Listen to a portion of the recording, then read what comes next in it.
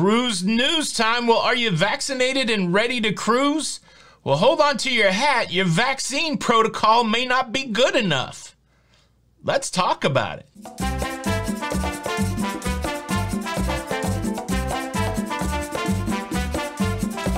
Hey, hey, hey, what's up, everybody? Welcome back to La Lido Loca. I'm your host, Tony, here with the latest cruise news updates. Well, we're going to talk cruise news. I got the Canada story I haven't covered yet. We're going to talk about vaccines and cruising. But first, I just got to say a big thank you to every one of you that participated in the conversation around Saturday's show. That was the show where I uh, had an interesting thought experiment where I noticed the, the conversation around uh, prices of cruises and casinos, tied it to non smoking, and I, I made the big end around and tied it to Disney. I did not know that that conversation was going to be so enjoyable thanks. I just want to say thanks. Those comments were filled with people that were hating on smokers. It was filled with people who were hating on gambling. It was filled with people who were hating on Carnival. It was filled with people who felt like because they cruised on Disney that they were better than the rest of the world. Then it was also filled with people who cruised on Carnival who thought that everybody else was a big bore all I'm saying is, uh, you know, the the elitism aside, uh, the fact that the elitism was there, uh, it made me happy. There was no talk about vaccines. There was no talk about the CDC. It was just a good old cruise slugfest among those people that love their brands the most and their cause. And yeah, it was cool. Uh, you know, but seriously, it, it, it's okay how everybody else cruises, and when you get to heaven, nobody's gonna go, "Oh, you you cruised on Carnival or you cruised on Disney. Let's give you a spot up front." Shocker. But let's talk cruise news. Let me talk the Canada story first. We'll finish up with the vaccines. Uh, Canada, they announced last week that they would be reopening their cruise ports in November of 2021 instead of February of 2022. I've seen all kinds of speculation as to why this was done. Of course, a lot of people ran it through their political filter, felt it was some sort of political ploy. So let me offer another reason. First of all, kudos to Canada for looking at the situation and saying, well, it looks better. Uh, we don't have to stay closed down until February. Let's open it up in November. Most of the time, people would be happy with that, but people figured out a way to get mad about it. Here's why people had a problem with it. When you reopen the cruise ports in November, the cruise season will basically be over to Alaska, to ports in Canada. And so, have you really done anything good, why do it in November opposed to February? Here's my supposition as to why they did it. To me, there's a real compelling reason to start cruising in Canada in November opposed to February. It's it's about time. The cruise restart is slow. You need a green light. You need somebody saying that you can cruise again. Then you need a period of time to get it going. Uh, case in point, the cruise restart we we still have a small percentage of cruise ships cruising right now, and we've been doing the cruise restart for a couple months. And so, uh, yeah, it, it, makes sense uh, up in Canada to give them months and months to get cruising going again. To me, it's it's really not any more complex than that. I'm glad that they looked at what was going on and said, let's open it up now instead of waiting uh, the long period until February.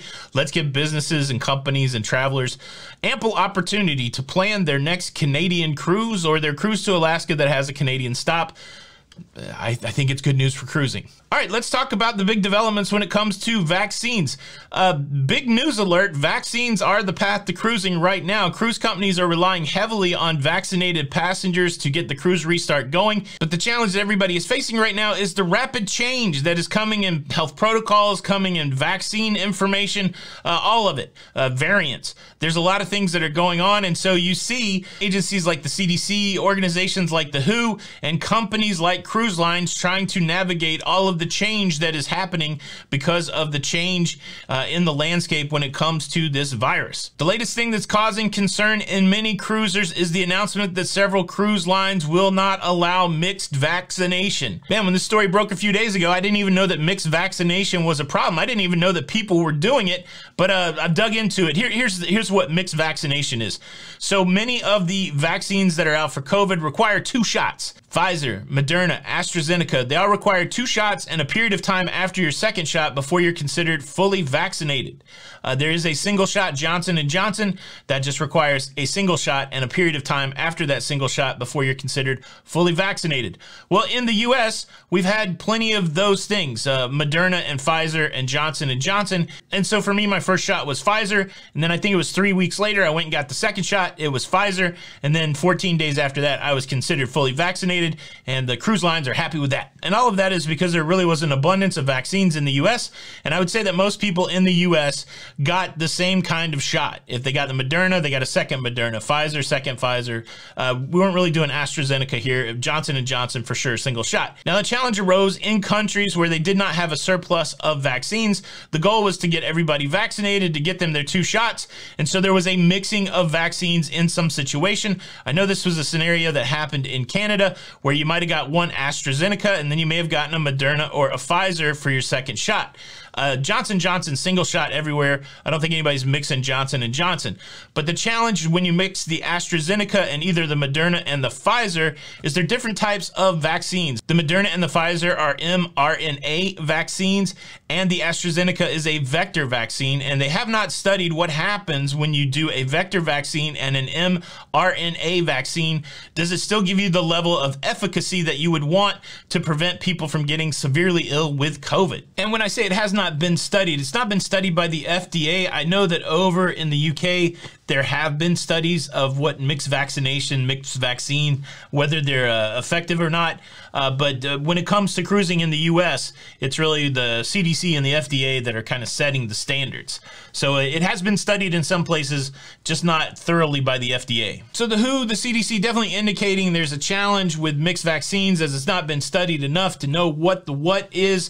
Uh, and I'm going to tell you how this affects cruising. But before I do, let me quickly invite you to subscribe to this YouTube channel. If you like staying up to date with everything that's going on in cruising, please consider subscribing with the notification bell on.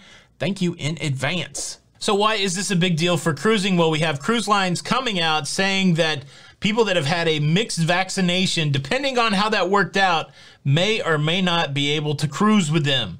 Holland America Line, Princess, Carnival, Norwegian, all releasing protocols around mixed vaccination, and uh, sadly, they're not. Uh, there's not a standard there. Some cruise lines, Holland America, they're saying that you can't mix AstraZeneca with anything. It has to be all AstraZeneca. But if you've mixed Moderna and Pfizer, because they're both mRNA vaccines, well, that's cool. And then you got like Norwegian taking a stronger stance against it, saying that if you've had any mixed vaccines, it's not going to work. So for those cruisers out there that had to mix their vaccines, well, the, the path to cruising just got a little more rocky. And honestly, I don't think it's going to be a big deal for U.S. cruisers because I believe that most U.S. cruisers probably got the same, uh, you know, brand or flavor of vaccine.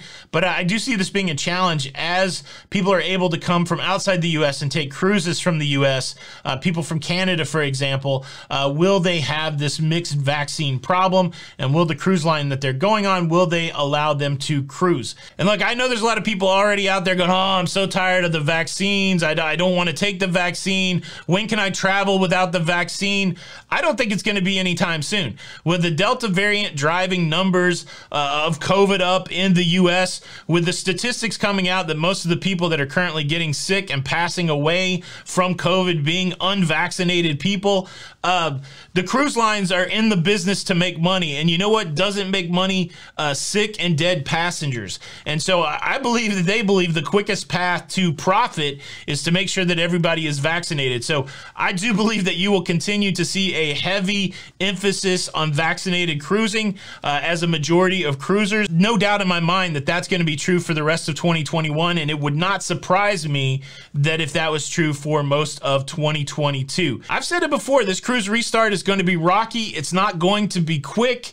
And uh, if you don't have a tolerance for chaos, if you don't have a tolerance for uh, all the changes going on in cruising, this is not the time to go cruising. Look, I'm a big cheerleader for cruising. I want as many people to go cruising as possible, but I don't want people to be turned off by cruising. So if you're a cruiser out there and you're looking for a cruise experience that's similar to 2019, but you're somebody who doesn't want to be vaccinated, somebody who doesn't want to wear a mask, stay away from cruising for right now. The cruise restart will go forward. They're going going to hang heavily on vaccines, and uh, we'll get there. But uh, for some people, this is not this is not the environment that you want to be in. Look, that's just my take on the story. I would love to hear yours. What do you think about all this? Excited that Canada's opening up? Well, what? Why do you think they're doing it in November? And what about this mixed vaccine? Is that a problem for you or uh, not?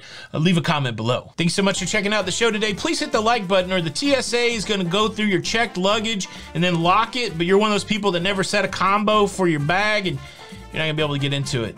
Just, just hit the like button. It's too much hassle. This is Tony with La Lido Loca, and until the next time, we'll see you on the Lido. Bye.